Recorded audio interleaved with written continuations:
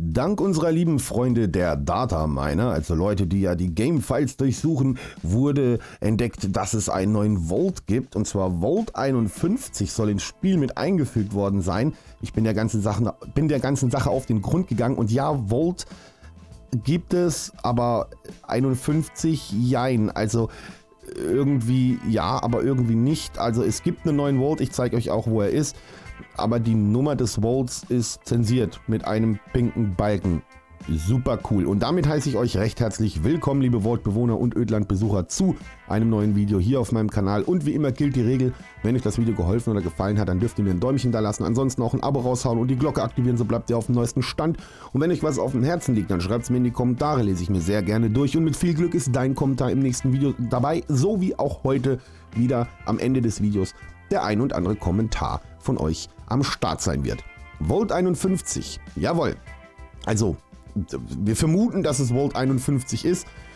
Wo finden wir den eigentlich? Also, um ihn zu erreichen, müssen wir hoch in den Nordwesten zum Gutshof Aaronhold, wenn man das so richtig ausspricht, und vom Spawnpunkt aus einfach immer Richtung Norden hochlaufen und dann finden wir ihn auch schon, den neuen Vault Pink. Ja, ich nenne ihn einfach mal Walt Pink. Äh, und der befindet sich dann natürlich mitten im Wald oben. Und da gibt es natürlich die kuriosesten Spekulationen. Äh, ich habe in unserer PlayStation Community, also ich habe ja eine PlayStation Community, die nennt sich Vault.de. Wer auf der PlayStation zockt und Leute zum Handeln und Spielen braucht, der darf da gerne vorbeischauen. Ansonsten natürlich auch den Discord benutzen. So, Link in der Videobeschreibung. Ähm, genug der Eigenwerbung. Und dort wurde sehr viel diskutiert, ob dieser Vault nicht sogar der Vault sein könnte, welcher mit einem Raid auf uns wartet.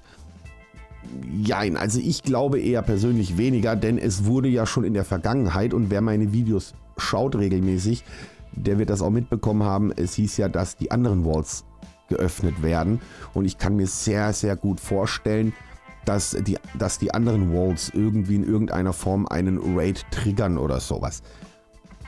Möglich ist es natürlich, es kann auch sein, dass ich mich total irre, denn wir wissen ja durch den neuen Trailer, der rausgekommen ist, dass es auch einen Underground geben wird in Fallout 76. Was ich mir persönlich vorstellen könnte, theoretisch aber nur, das ist nur meine persönliche Vorstellung, könnte auch total falsch liegen, dass dieser Vault vielleicht der Zugang zu diesem neuen Underground-System sein könnte. Vielleicht ist ja auch dieser Underground hinterher der Raid. Hm, das ist alles so spekulationsmäßig irgendwie so. Also, ah, ich bin gespannt. Also ich finde, ich finde, das, oh Mann, Leute. Ich bin echt gespannt, was da noch kommen wird. Also ich finde, alleine jetzt schon das mit dem Destilliersystem, mit diesen kleinen neuen Gebieten und so, die dazugekommen sind, finde ich das schon, finde ich schon gut. Macht auf jeden Fall Spaß. Also man merkt, da tut sich was in dem Game. Und ich bin echt gespannt, wie sich dieses Jahr Fallout entwickeln wird. Es gibt ja heute sogar schon Situationen, wo ich so zurückdenke, obwohl das Spiel noch gar nicht so alt ist, aber ich denke so zurück so, ach, als wir die Beta gespielt haben, da sah das Spiel noch so und so aus, da hatten wir die Funktion nicht, weniger Lagerkapazität. Ja, also ne, man, man denkt also schon so ein bisschen zurück und wenn man sich überlegt, was sich eigentlich alles schon in dem Spiel getan hat, ist das schon enorm. Und jetzt natürlich in dem letzten Update im Patch 7 kam halt eben ein neuer Vault dazu und das lässt natürlich auch wieder Fragen auf, äh, auferstehen und das finde ich auch gut. Das finde ich echt gut, weil so hat man immer irgendwie so ein bisschen sich, so ein bisschen die Möglichkeit, so ein bisschen nachzudenken und zu gucken, so was könnte da sein. Checkt die Location einfach selber mal aus, schaut mal, was es da so alles für euch gibt. Und nun kommen wir zu euren Kommentaren. Den Anfang macht der Liebe Kennst du nicht und er hat gefragt, wie kann man so hoch springen? Ja, das ist die Mutation Beuteltier, das habe ich aber, glaube ich, soweit ich mich erinnere, schon einmal beantwortet.